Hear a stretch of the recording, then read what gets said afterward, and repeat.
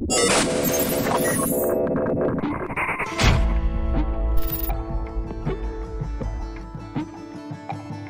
Hey guys, Blue Robot here. So, World War 3 has dropped another video giving us some information regarding character customization and even showcased a new area within the trailer that you may not have realized. Of course, if you want to stay up to date with anything and everything regarding World War 3, then go ahead, hit that subscribe button, turn on the post notifications so you can be notified every time I post a video. And of course, if you do end up enjoying this video, then hit that like button at the end. Alright guys, so today I wanted to go ahead and break down the spotlight video for you guys bit by bit and point out certain things within the trailer. So of course we start off with a helicopter drone flying overhead on what looks like to be the map Smolensk or possibly the new Korean DMZ map. And I'll show you why later. It's really because of these towers overhead. It doesn't really remind me of Smolensk. It reminds me of another thing we saw in the development trailer that possibly could be hinting at the Korean DMZ map. And then of course we have the brand new anti-air weapon called called the Grom, if I remember correctly, which is a man portable Polish rocket launcher.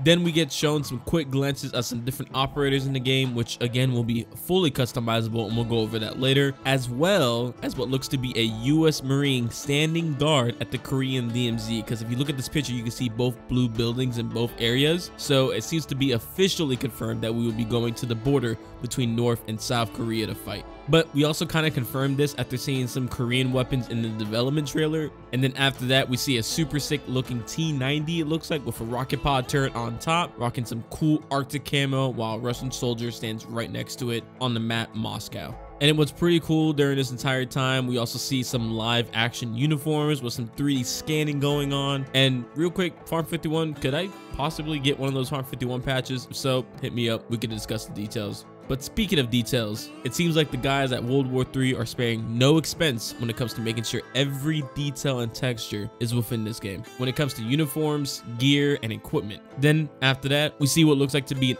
M1 Abrams being fired upon by an RPG on the Polyarny map and then some quick hip fire on the C1 point on Smolensk. We even see a quick look at an IFV, which looks to be rocking some crazy looking camo. Also, we get a really nice look at the character loadout screen, showcasing that you won't just be able to customize one, but three characters, all with different headgear all the way down to the patches and tags on uniform. Which also begs the question, Farm 51, my patch? Possibly. You know, I had to kind of sink that question in there somewhere. But this is definitely an upgrade when it comes to character customization compared to the old build where you could only customize one soldier and that was it. So depending on what map you'll be on, you'll be able to adjust camos accordingly. Then in the next part, we see what looks like to be the Vepr submachine gun with a possible 50 to 60 round drum magazine. So it looks like we'll be getting those drum mags back for some awesome weapon smithing, but we all know that's pretty much top tier in World War 3. Then following that, we see some live action video showcasing an US Army assault pack, which brings back a lot of memories with some more ACU camouflage, which is also pretty much a throwback nowadays. And we also see the groin plate, which nobody ever used.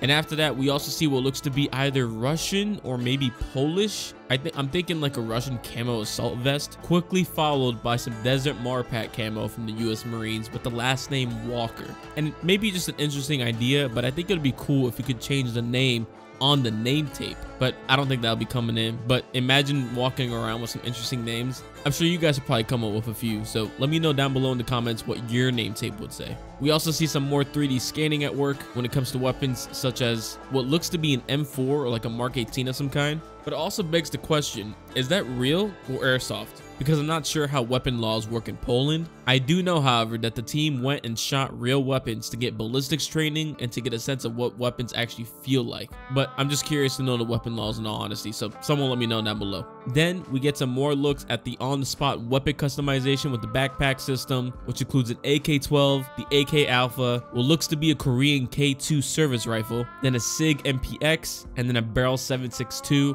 which is actually one of my favorite assault rifles. Of course, we see some more 3D scanning, and then this is probably one of the only things that bothered me within the trailer was them showcasing, and hear me out before you freak out, a US Army SEAL. Yeah, you heard that right.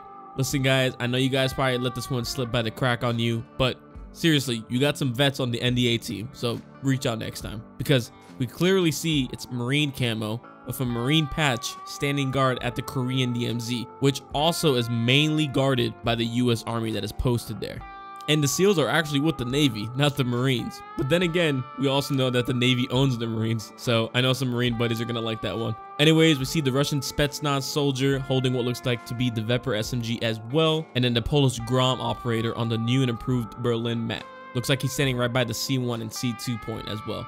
And then we see some soldiers low crawling on the map Smolensk, while the next part is what we see looks like to be the interior of the B1 or B2 point on Moscow. I forgot which point exactly, but it's basically the mall area on the Moscow map, which looks absolutely amazing by the way. We also see some Arctic camo being showcased on Polyarny, while the soldier actually looking is holding a K2 assault rifle, which looks like to have a magnifier, but with no optic, which I found that to be a really interesting choice there. Then we see some more quick cuts to even more different styles of operators, in which we also see a few new head options, including the Shin head, John, and Rafale face, which I believe are all new and were not in the old build. I know the Shin one definitely wasn't. And just to break down exactly what you could customize, first is the head, then the headgear, face gear, jacket to torso options, gloves with some sick mechanic gloves, pants, which seems to already include the boots down below, and of course, war paints for both the body and the face. We also get some pretty cool information on what the devs are going to be giving veteran players regarding playing on the old build, which also seems more in tune with the free-to-play model that we've been talking about lately, kind of like what happened with CSGO. Hopefully it's not as bad as CSGO, but only time can tell. So we see a black beret featuring the World War III logo, which I'm guessing is going to go to veteran players only, and I'm pretty sure that we'll also get a patch that actually states I survived World War III development, because that's actually in the old build. Now, what we also heard from the narrator's voice was that they have more intel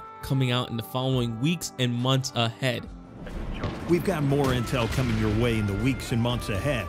And guys, there's only about three months left in 2021, so this most likely confirms a release date somewhere in 2022. When exactly, I have no clue, but I don't expect a release date soon. But then again, maybe it could be within two months, which would also confirm the rumors of a release date possibly in December or like an open or closed beta.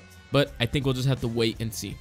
But guys, that pretty much ends today's video and the breakdown of this trailer. If you enjoyed all the information, then go ahead, hit that like button, and subscribe for more content. My name is Blue the Robot, and I will see you guys next time. Peace.